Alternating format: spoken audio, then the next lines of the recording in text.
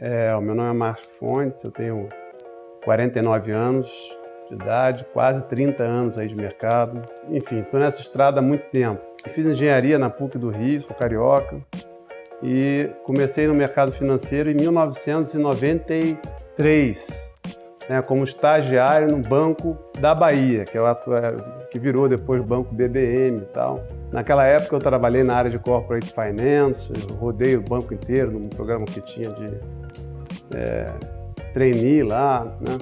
Depois fui gerente de câmbio no Banco Brascan, lá no Rio.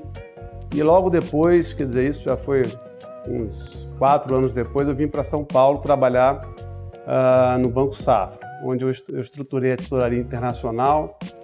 Eu fui superintendente de renda fixa. E passado esse período de banco, na safra, eu fui para o JP Morgan, aonde eu fui inicialmente como head na mesa de juros, depois me transformei em head da mesa inteira, é, virei tesoureiro e diretor financeiro do banco. Quer dizer, passados esses primeiros anos aí em trabalho de banco, né, é, deram quase 10 anos, e no, já no final de 2002, eu é, resolvi mudar minha carreira um pouco para começar a me dedicar à gestão de fundos, né? Porque na minha cabeça naquela época, quer dizer, fundos era uma coisa assim que envolvia assim essencialmente o que eu gostava de fazer, né? Que era fazer gestão. Enquanto que em bancos tinha outros trabalhos burocráticos que eu não é, que não me agradavam tanto, né?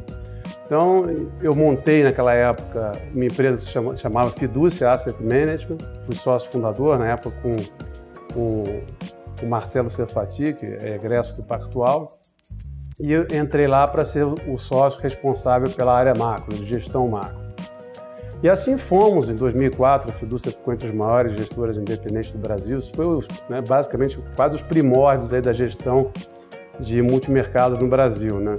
E no final de 2005, eu vendi as minhas cotas lá para ingressar em outro projeto, que era de estruturação dessa área também de gestão, em particular dos multimercados, no banco BNP Paribas aqui no Brasil, aqui em São Paulo. Né? Então a gente também começou lá, tinha um, um dinheiro pequeno naquela época, tinha uns 200 milhões de fundos uh, diretos para clientes, 2,20, uns 500 institucionais. Aí a gente fez lá a gestão, foi super bem em 2005, 2006. Tivemos lá uma rentabilidade muito boa, os melhores sharps, não o melhor sharp da indústria naquele ano. Tal maneira que em 2007 a gente captou bastante dinheiro, fechando dois fundos com mais de um bilhão. Né? Fala assim, um bilhão é, hoje em dia para né, essa indústria parece pouco dinheiro. Mas naquela época era muita coisa, né? A indústria em 2007, sei lá, tinha talvez um décimo, né?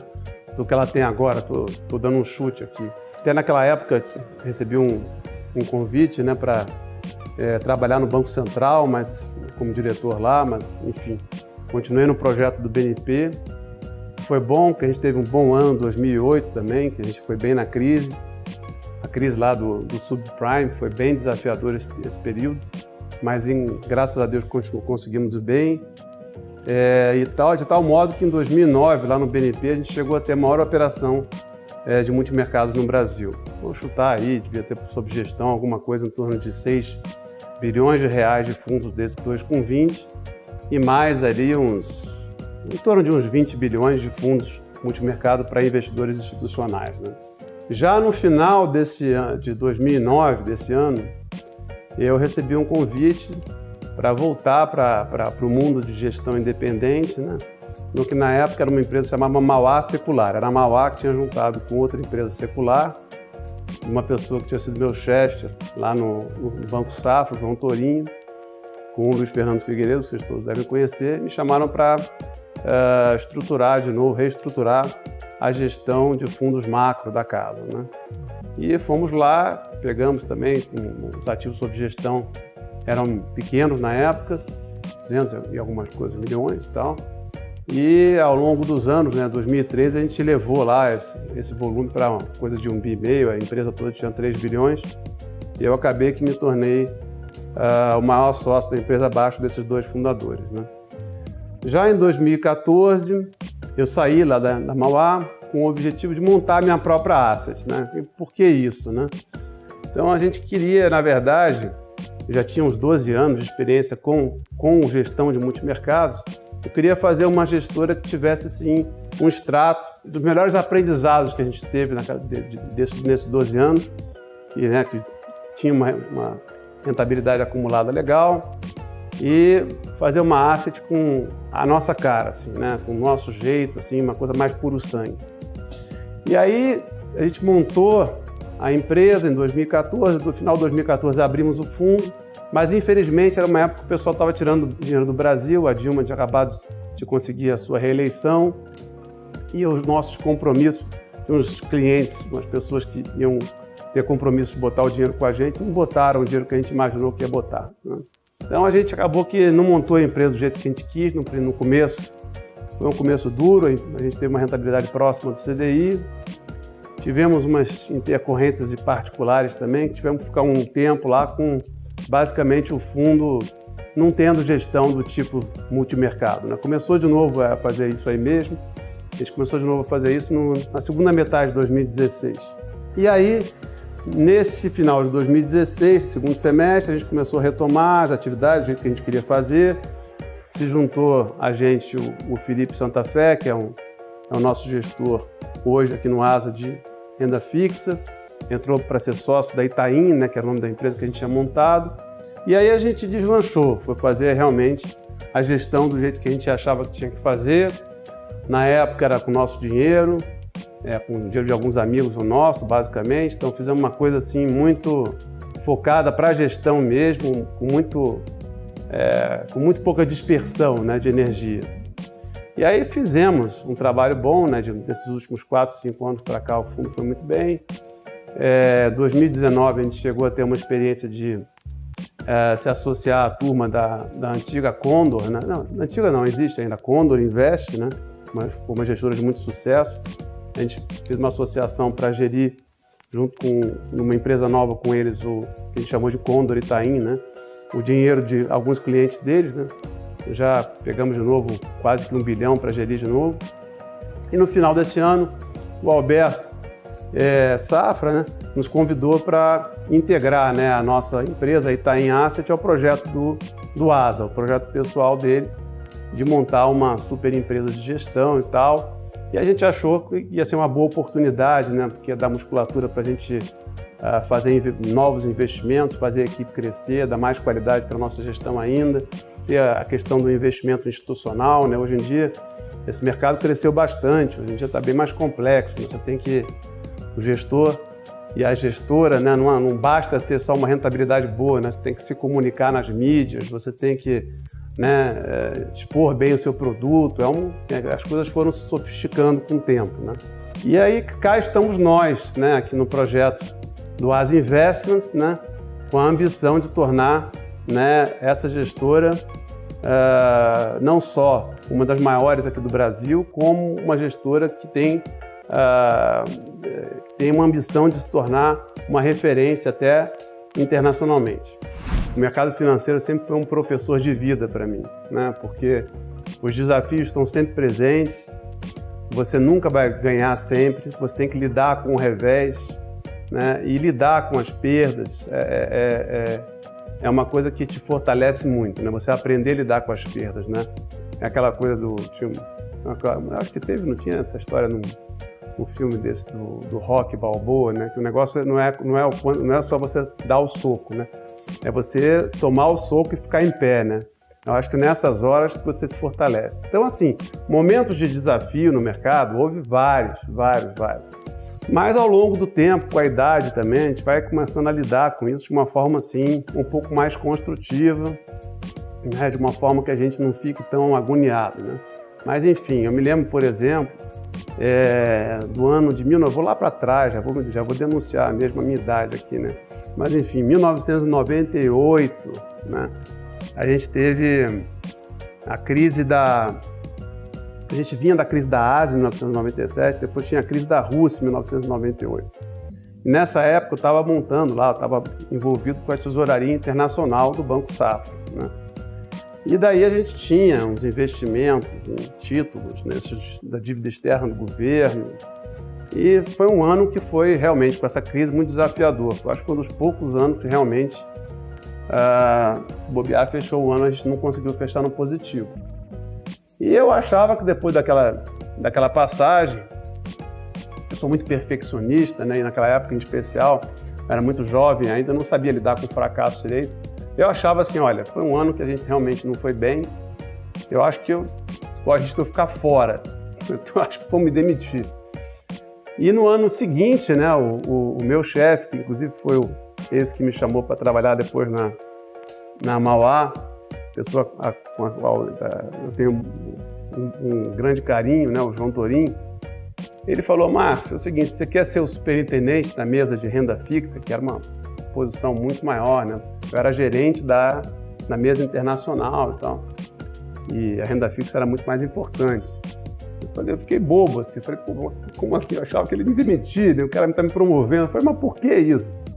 Ele falou, não, olha só, eu estou te promovendo aqui porque a maneira que a gente trabalhou, né, foi muito legal nesse ano, que a gente, a gente soube eventualmente topar as posições, os debates foram bons. Agora, tem um, um, um componente nessa história de mercado financeiro que não tem jeito, quer dizer, tem a ver com a sorte também. Né? Você pode fazer tudo certo, mas se não é o teu tempo de ganhar dinheiro, você não vai ganhar. Né? Então ele conseguiu, eu achei, eu achei extraordinário isso, porque ele conseguiu identificar o meu valor além daquele, daquele, daquele, daquele, né, daquele ano que por acaso não teve um ganho, ou até, acho que se bobear, teve uma, uma pequena perda. Então, assim, eu fiquei muito feliz depois disso. Foi um momento de grande desafio, de grande agonia.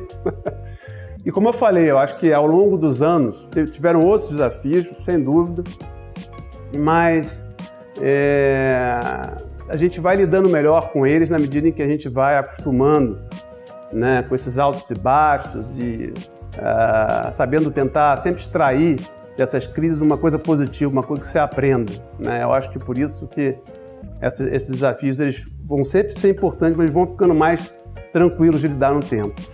Olha, um dos grandes momentos na minha vida, assim, uh, houve também, graças a Deus, ótimos momentos, né? E assim, um dos grandes, assim, até recentes que eu me lembro, foi quando a gente é, deu, né? Tá, eu tinha montado a Itaim, né? Que era para ser, é, era a minha asset e tal. E aí a gente recebeu, né? Um seed money grande do pessoal lá da Condor, né? E para fazer a nossa empresa crescer e tal. Ali me deu uma satisfação, assim, um, eu fiquei muito orgulhoso daquilo que estava acontecendo, né? Me deu assim um, uma coisa assim de, de, de satisfação, de, uma coisa de você estar tá né, é, é, atingindo um ponto da sua carreira que realmente dá orgulho, né? Então, esse foi um dos, um dos, que eu mais, assim, um dos momentos que eu fiquei mais feliz. Eu vou dizer assim, o mercado financeiro, como eu acho que eu já coloquei um pouco antes aqui, é um grande professor, né? Então eu tive muitos aprendizados com o mercado, né? E por que, que ele é um grande professor? Porque é o seguinte, você aprende muito mais, né, é, com os seus fracassos do que com os seus sucessos né? pessoalmente, profissionalmente, quer dizer, a experiência do fracasso, né, ela é muito mais rica, né? Porque se você está ali aberto, você vai parar para pensar no que você fez errado, para melhorar, no, e, no que aquilo te mexeu como pessoa, você vai tentar evoluir como pessoa, né? E o mercado financeiro, quer dizer, como a gente sabe, né, tem sempre altos e baixos, não tem só altos, né? Então nesses baixos, assim, eu aprendi, como eu coloquei antes aqui, aprendi a, a, a lidar né, com a frustração né, de eventualmente não ter as coisas o tempo todo sendo perfeitas e, e, porque não, a vida não é assim, né? As coisas não são perfeitas o tempo todo. Você não vai ganhar o tempo todo. Isso não existe. Isso não é humano, né? Então é aceitar um pouco melhor isso, né? E tentar tirar dessas experiências sempre alguma coisa boa para melhorar como pessoa e como profissional. Então, o mercado financeiro me ajudou muito nesse negócio. Né? Eu acho que assim a gente aprende muito com a idade, com os filhos, né? E assim o mercado foi um outro grande grande professor para mim nesse sentido. Né? Olha, eu desejo fazer o ajudar aqui o Alberto, né? A fazer o As Investments, né? A nossa gestora, ser uma gestora é, como a gente colocou aqui, é super reconhecido por ter uma excelência de gestão no âmbito nacional, quer dizer, nós sermos não só excelentes em gestão, mas o que vai ser a consequência disso. Nós somos, sermos uma gestora das maiores do Brasil e mais à frente também, quer dizer, simultaneamente estamos trabalhando para isso, mas mais à frente, eventualmente também sermos uma gestora é, com escala né, e, e, reconhecimento no plano assim global. Tá? Então esse, esse é seria um, um sonho hoje em dia para mim que eu vou brigar para atingir. A coisa que mais falta hoje no mercado profissional, isso não é nem só no mercado financeiro, né?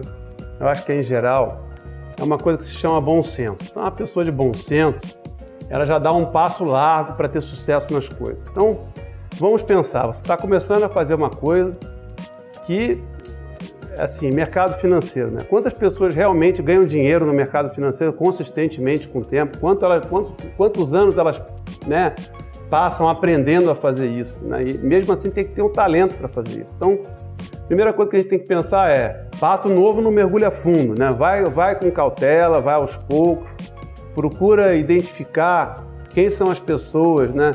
Que são seus exemplos, que realmente ganham dinheiro, enfim, as pessoas que realmente têm comprovadamente uma história de mostrar resultados. Procura essas pessoas nas mídias.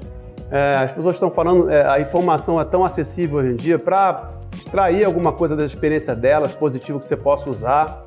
Vá aos poucos, né? Nunca coloca tudo para perder, coloque tudo para perder numa, numa tacada só. Vai se sentindo confortável aos poucos. E aí vê, se você tem talento mesmo para isso, dá linha para o negócio. Agora, se não tem, dá para os outros fazer para fazerem para você, que também é bom, né? Então é isso.